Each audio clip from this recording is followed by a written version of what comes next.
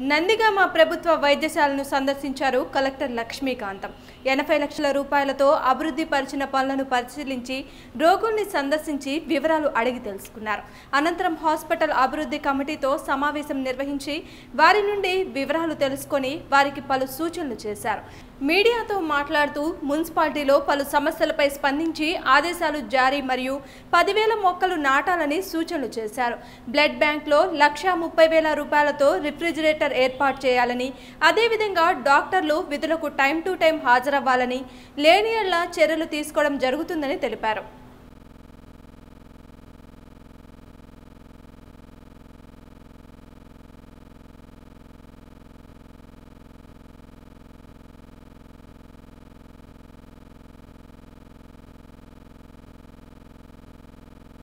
ఇవ్వవచ్చు సో దీని మీద ఈరోజు వచ్చిన అర్జీలు హాస్పిటల్ది అదేవిధంగా గ్రీవెన్సెస్ చాలా వచ్చాయి. మున్సిపాలిటీకి సంబంధించి ఒక్కొక్కటిగా పరిష్కరిస్తాము. మున్సిపల్ కమిషనర్ని ఎవ్రీ త్రీ డేస్ మేము పిలుచుకొని రివ్యూ చేస్తాము. కాబట్టి రాబోయే నెల రోజు లోపల ఇక్కడ సమస్యలన్నీ తప్పనిసరిగా హండ్రెడ్ పర్సెంట్ పరిష్కారం. సార్ ఇక్కడ హాస్పిటల్లో డాక్టర్లు ఉండకుండా ప్రైవేట్ వ్యక్తుల వైద్యం చేస్తుంటే గతంలో ఒకరు చనిపోయారు. ఇక్కడ ప్ర- ప్రభుత్వ డాక్టర్లందరికీ ప్రైవేట్ హాస్పిటల్స్ ఉన్నాయి. వాళ్ళ అసలు ట్రీట్మెంట్ కూడా సరిగ్గా సో ఇక్కడ హాస్పిటల్లో ఎవరు డ్యూటీ టైంలో లేకపోయినా వాళ్ళ మీద కఠినమైన చర్యలు తీసుకుంటాము. కాబట్టి DCHS special officer DSO joint collector too ఎప్పటికప్పుడు సర్ప్రైజ్ విజిట్స్ చేసి వాళ్ళ డ్యూటీ అవర్స్లో వాళ్ళు ఇక్కడ కంపల్సరిగా ఉండి తీరాలి. కాబట్టి ఎవరైనా యాబ్సెంట్ అయితే మాత్రం తప్పనిసరిగా చర్యలు పోస్ట్ తీసుకుంటాం మార్టం కూడా డబ్బులు వసూలు చేస్తున్నాం సార్ ప్రైవేట్ వ్యక్తులు కాబట్టి అది స్పెసిఫిక్గా ఉంటే మాకు చెప్పండి ఎవరు వసూలు చేశారు అని. దాని మీద కూడా డీటెయిల్డ్ ఎంక్వైరీ చేస్తాము. ఎవరైనా అట్లా వసూలు చేస్తుంటే మా పరిధిలో మేము తప్పనిసరిగా కఠినమైన చర్యలు తీసుకొని వాళ్ళు ఎవరైతే వసూలు చేస్తున్నారో వాళ్ళ మీద ఉద్యోగం నుంచి కూడా తొలగించడానికి సిద్ధంగా ఉంటాము తదుపరి మనకు ర్యాబీ వ్యాక్సిన్ కూడా చూసాము అన్ని అందుబాటులో ఉన్నాయి. ఎక్కడైనా షార్టేజ్ ఉంటే ఇమ్మీడియట్గా మనం సప్లై చేస్తాము. నందిగామ మొత్తం నేషనల్ హైవేలో ఉంది కాబట్టి ట్రామా కేర్ సెంటర్ కూడా ఉంటే బాగుంటుంది అనేది వాళ్ళు ఎక్స్ప్రెస్ చేశారు. సో అది ఒకసారి పరిశీలిస్తాము. తప్పనిసరిగా మనం ఎన్ని చేయగలమో చూద్దాము. అదేవిధంగా కింది స్టాఫ్ ఎంఎన్ఓ ఎఫ్ఎన్ఓ తర్వాత టెక్నీషియన్స్ స్ట్రెచర్ బాయ్స్ అవన్నీ మన హెచ్డిఎస్ నుంచే భరించడానికి ట్రై చేయడం అనేది జరుగుతుంది.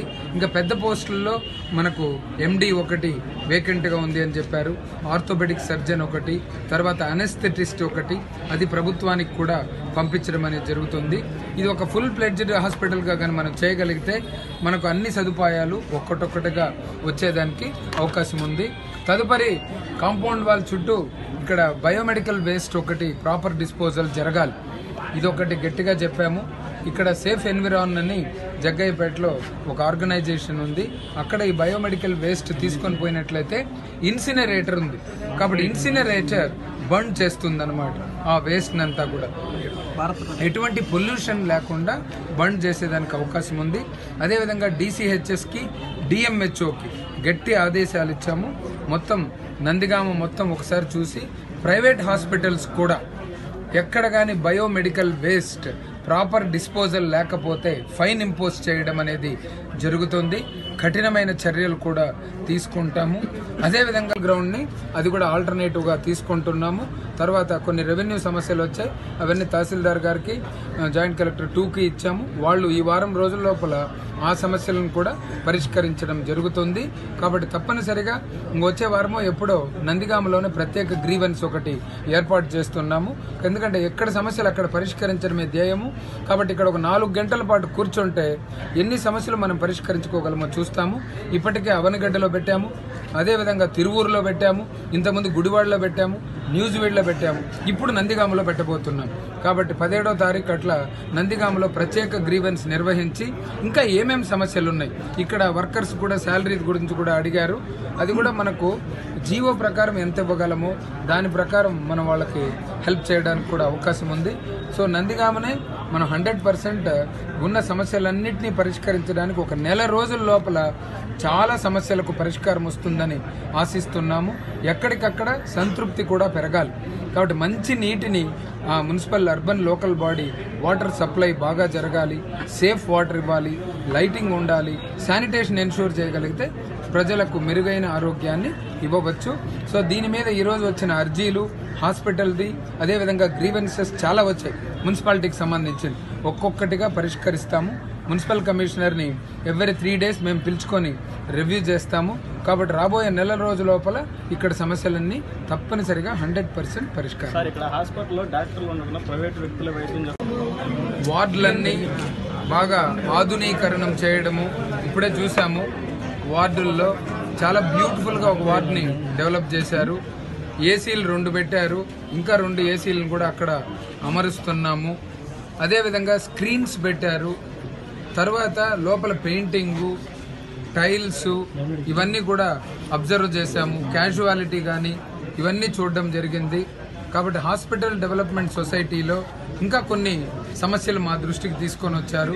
ముఖ్యంగా దీన్ని హండ్రెడ్ బెడెడ్ హాస్పిటల్కి అడిగారు. ఆ ప్రపోజల్ని పంపిస్తున్నాము.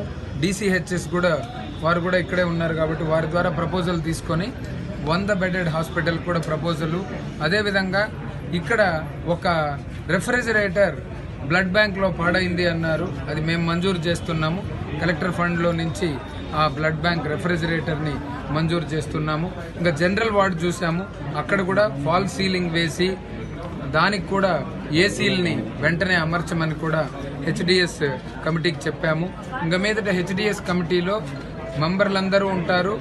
వారితో పాటు డిఎస్ఓ ఈ నియోజకవర్గ అధికారి స్పెషల్ అధికారి ఆయన ఆయన్ను కూడా విజిట్ చేయమని చెప్పాను. తహసీల్దార్ ఉంటారు ఎండిఓ ఉంటారు మున్సిపల్ కమిషనర్ ఉంటారు. కాబట్టి హాస్పిటల్ క్లీన్గా ఉండాలి ఒకటి. మందులను కూడా చూసాము మందుల కొరత ఏమున్నా కూడా హెచ్డిఎస్లో మనం తెచ్చుకునేదానికి సౌలభ్యం ఉంది.